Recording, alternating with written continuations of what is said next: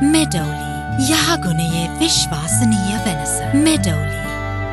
බිත්තර පරිභෝජනය දැන් අඩුවක් වෙලා තියෙනවා. බිත්තර පරිභෝජනය අඩු වෙලා තියෙන්නේ බිත්තර මිලත් එක්ක තමයි. බිත්තර පරිභෝජනය අඩු වීම නිසා තමයි මිල යම් විදියකට දැන් නැවතිලා තියෙන්නේ. පාලනය වෙලා තියෙන්නේ. නැතුව නිෂ්පාදනයේ වැඩිවීමක් ඉඳන් නෙවෙයි. ඒතකොට බිත්තර පරිභෝජනය අඩු වෙලා තියෙනවා. මිනිසුන්ට මිල දී ගැනීම හැකියාව අඩු වීමත් එක්ක. එතකොට ඇත්තටම උත්සව සමයේදී මේක අවශ්‍යතාවය වැඩි වෙනවා. ඒතකොට මං හිතනවා රුපියල් 80ට 85ටවත් බිත්තරයක් යන්න ඉඩ තියෙනවා. අපේ බිත්තර කර්මාන්තයේ 70ක් විතර අපේ නිෂ්පාදනය ලබලා දෙන කුඩා හා මධ්‍ය පරිමාණ බිත්තර නිෂ්පාදකයෝ. අද ඔවුන් වයිම පළාත තමයි වැඩිම ප්‍රමාණයක් ඉන්නේ. ඔවුන් ඔවුන්ගේ බිත්තර කර්මාන්තයෙන් අයින් වෙලා බිත්තර දාන කිකිලියෝ මව්සත්තු පවා මසට විකින්න තත්ත්වයට පත් වෙලා තියෙනවා. ඒක විශාල කඩාවැටීමක්. මොකද බිත්තර කර්මාන්තය වගේ ඒවා ආයේ අපිට සතියකින් දෙකකින් නැවත ගොඩ ගන්න බෑ. ඔවුන්ගේ මව්සත්තු ඉන්නවා, ඔවුන්ගේ මව්සත්තු ඉන්නවා. ඒ ඒ සත්තුන්ගේ පැටව් අරගෙන තමයි අපි බිත්තර නිෂ්පාදනය කරන්න අපේ කුඩා හා මධ්‍ය පරිමාණ ගොවිපල් වලට යන්නේ. ඒක දාමයක්. ඒ දාමේ යම්සෙන් දැනක කඩාවැටුනොත් ඒක ශනිකව ගොඩ ගන්න බැරි වෙනවා. මේ අතර වැට්බදු සහ සමාජාරක්ෂණ බදු සහනය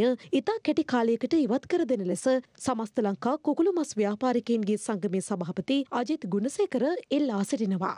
ඉතින් අපි ඇත්තටම පාරිභෝගික ජනතාවට මේ අවස්ථාවේ සුබ පණිවිඩයක් දෙනවා. මේ උත්සව සමයේ කිසිම හිඟයක් වෙන්නේ නැහැ කුකුල් මස්. ලබන ජනවාරි මාස වෙනකන් අපේ නිෂ්පාදනය තියෙනවා. මේ අවස්ථාවේ අපි උපරිම මිලක් පවත්වාගෙන යන්න අපි සමාජය සාකච්ඡා කරා.